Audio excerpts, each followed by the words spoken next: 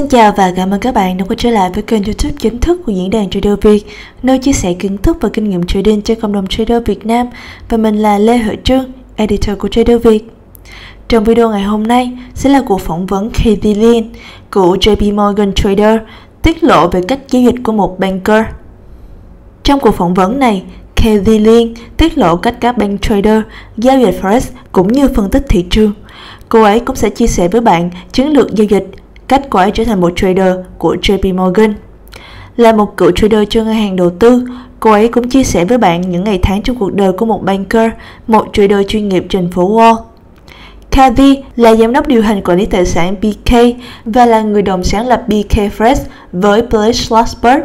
Cô tốt nghiệp Đại học New York và bắt đầu công việc đầu tiên với tư cách là một nhà giao dịch chuyên nghiệp tại JP Morgan.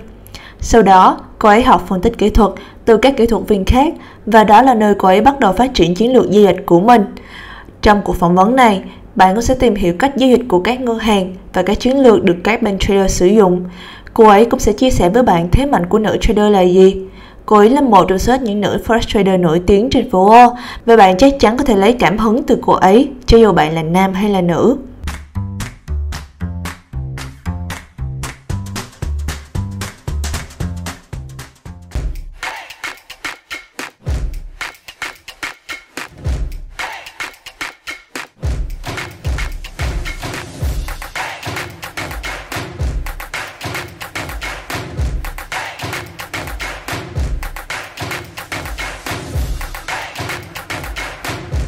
Như thường lệ thì mời cả nhà hãy cùng đọc qua phần cảnh báo rủi ro ở đầu video này nhé.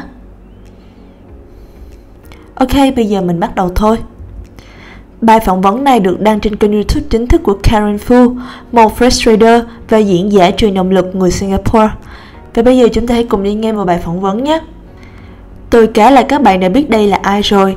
Cô ấy là Cathy Lin, người đã xuất hiện trên rất nhiều kênh truyền thông tài chính như CNBC, Bloomberg, Market Watch, Cô ấy làm việc tại thành phố New York và là tác giả của rất nhiều cuốn sách best-selling. Kathy có hơn 20 năm kinh nghiệm giao dịch trên thị trường tài chính. Trước tiên, tôi muốn hỏi về hành trình giao dịch của cô. Cô đã bắt đầu trading như thế nào? Lời đầu tiên, tôi cảm ơn bạn rất nhiều vì đã mời tôi tham gia buổi phỏng vấn ngày hôm nay, Karen. Tôi nghĩ hành trình giao dịch của tôi khá đặc biệt, và dù bạn có tên hay không thì mọi thứ đã đến rất tự nhiên. Tôi còn nhớ khi tôi còn học đại học, chuyên ngành học của tôi lúc đó là pre-med, thuộc về ngành y. Tôi biết, bố mẹ nào cũng muốn con mình trở thành những bác sĩ, luật sư cả. Mẹ tôi cũng không ngoại lệ.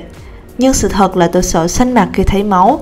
Một dấu hiệu kinh khủng cho thấy chuyện này sẽ chẳng đi đến đâu. May quá, tôi đã chuyển đến New York University. Họ có một dạng chương trình luân chuyển, cho phép bạn tham gia học các lớp học khác nhau để tìm ra những gì bạn thực sự muốn làm. Một trong những lớp tôi học là kinh tế vĩ mô và vì một lý do nào đó tôi rất thích học nó và tôi không gặp khó khăn gì cả, khác hẳn với lúc tôi phải học môn hóa học hữu cơ. Sau đó, tôi đã chuyển sang trường NYU Stern School of Business. Và khi tôi sang đó, chúng tôi được yêu cầu phải tham gia thực tập. Thật may là tôi có được cơ hội thực tập với Market Technician Association, Hiệp hội các nhà phân tích kỹ thuật thị trường. Được khoảng năm 1996, chẳng có ai giao dịch với máy tính và về nghỉ đen, chúng tôi lập biểu đồ bằng bút và giấy. Và đó là nơi tôi đã học phân tích kỹ thuật. Khi tôi tốt nghiệp, công việc đầu tiên của tôi là làm cho JP Morgan.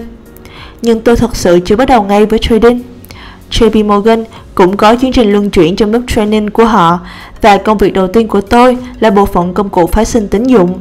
Và ơn Chúa, tôi đã không ở lại và vị trí luân chuyển thứ hai của tôi là tại bàn giao dịch Fresh của JP Morgan. Một lần nữa, tôi lại vô cùng yêu thích công việc này, bàn làm việc của nhà tạo lập thị trường. Khi ấy, tôi chỉ là một junior trader, tức là nhà giao dịch mới. Khi Chase và JP Morgan sáp nhập với nhau, tôi có cơ hội tham gia vào một prop trading desk. Vì vậy, tôi cần phải nhìn thị trường từ góc độ bên trong lẫn bên ngoài. Cụ thể, tôi cần phải có cái nhìn bao quát từ góc độ vĩ mô và có cái nhìn chi tiết từ góc độ của dòng tiền và hành động giá hàng ngày, rồi mới giao dịch bằng vốn của ngân hàng. Tôi làm công việc đó trong một vài năm. Bạn biết đấy, tôi tốt nghiệp đại học khá sớm, năm 18 tuổi, nên sau khi đi làm vài năm, tôi được khoảng 23-24 tuổi gì đấy. Tôi đã nhìn lại những gì mình đang làm. Tôi nhìn người phụ nữ ngồi kế bên tôi tầm 50-60 tuổi và tôi đang làm y chang những gì bà ấy làm. Tôi nghĩ rằng tôi không thể làm như thế này trong suốt phần đời còn lại của mình được. Vào thời điểm ấy, ai cũng làm việc cho .com vì đó là thời kỳ bùng nổ của nó. Tôi quyết định sẽ thực hiện một chuyến phiêu lưu.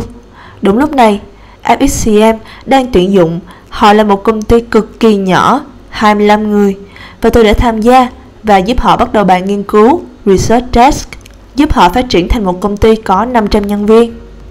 Sau đó, một công ty có tên là GFT đã gửi cho tôi một lời mời cộng tác để giúp họ làm điều tương tự, nhưng rốt cuộc GFT đã bị bán. Đồng nghiệp Boris và tôi đã quyết định tự thân giao dịch.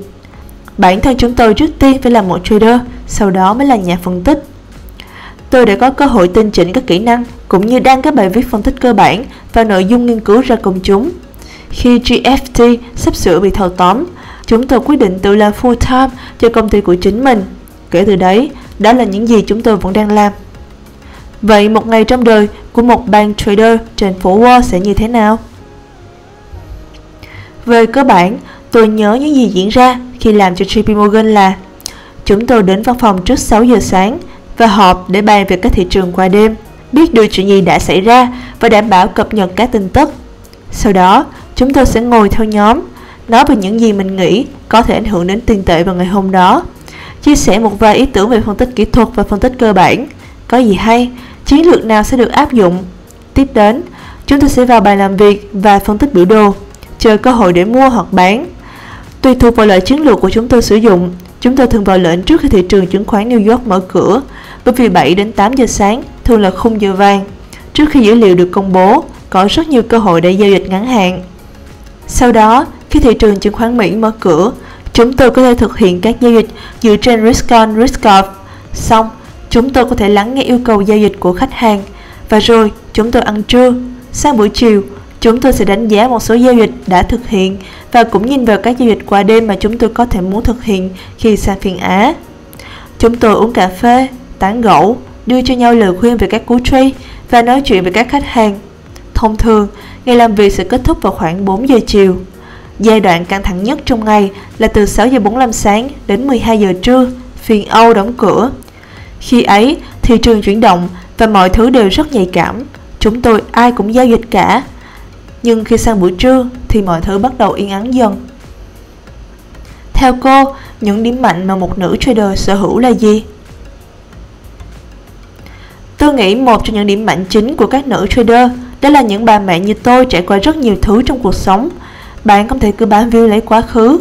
Và đó cũng là cách mà tôi tiếp cận với trading. Tôi có những tuần tốt, tôi có những tuần tồi tệ. Ơn rồi, những tuần tốt vẫn nhiều hơn những tuần tệ. Nhưng tôi vẫn không bám víu vào chúng. Boris, đồng nghiệp của tôi, luôn tự hỏi làm sao mà tôi có thể xoay sở nhanh đến thế. Tôi trade khung daily, còn anh ấy trade khung weekly và tôi đáp rằng tôi chỉ đơn giản là khởi động mọi thứ lại từ đầu và nhìn vào mỗi ngày như một ngày giao dịch mới. Tôi không để cho quá khứ ảnh hưởng đến tương lai. Tôi nghĩ đó là trực giác của phụ nữ theo một cách nào đó. Tôi có một chiến lược giao dịch được sử dụng trong một thời gian rất lâu. Nó hoạt động khá hiệu quả khi backtest và tôi tin tưởng nó. Kể cả khi có một ngày tồi tệ hoặc một tuần tồi tệ, thì cũng không thể nói được hiệu suất của nó sẽ như thế nào trong dài hạn. Tôi nghĩ phụ nữ vô cùng tôn trọng bằng chứng. Bất cứ khi nào tôi phát triển một chiến lược giao dịch, tôi luôn đảm bảo rằng mình đã tìm ra đủ chứng cứ để thuyết phục bản thân rằng nó sẽ hiệu quả khi áp dụng trên môi trường thực tế hoặc trước khi tôi dạy nó cho ai đó. Tôi cũng cho rằng phụ nữ sẽ làm việc chăm chỉ hơn đàn ông nhiều đấy. Chúng tôi phải gồng gánh rất nhiều chuyện trong cuộc sống thường nhật, cho nên cũng không ngạc nhiên khi chúng tôi tạo ra kết quả như thế. Ý của cô có phải là phụ nữ có khả năng multitasking, tức là đa tác vụ tốt hơn đàn ông không? Chắc chắn rồi, buổi sáng tôi vừa giao dịch, vừa làm bữa sáng và bữa trưa cho các con, đồng thời cũng theo dõi các thị trường. Buổi tối, tôi phải nấu ăn cho gia đình, cho các con tắm, ngủ rồi mới giao dịch.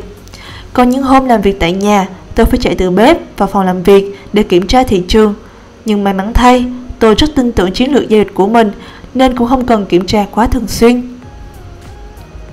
Một trong những chiến lược mà cô sử dụng là cách tiếp cận top-down. Vậy, cô có thể chia sẻ cho chúng tôi biết quá trình phân tích của cô diễn ra như thế nào không? Về cơ bản, tôi sẽ nhìn vào vị trí hiện tại của thị trường và thành thật mà nói, phân tích cơ bản sẽ không đổi ngày qua ngày. Ví dụ, khi bạn có triển vọng cho Úc, họ đang phải phong tỏa, thì họ sẽ vẫn bị phong tỏa trong vài tuần nữa. Khi dữ liệu được công bố, nó cũng có giá trị trong vòng ít nhất là một tháng. Vậy, tôi sẽ bắt đầu với bức tranh tổng quát. Những quốc gia này đang làm gì? Các ngân hàng trung ương đang nói gì? Nhắm đến các hành động chính sách như thế nào? Các yếu tố chính trị, kinh tế, xã hội đang nổi cộm có thể ảnh hưởng đến các quốc gia này. Kết hợp tất cả lại với nhau, tôi gọi chúng là bản đồ nhiệt phân tích cơ bản. Tôi sẽ đánh giá nó một tuần một lần và từ đây tôi thiết lập nền tảng cho các giao dịch.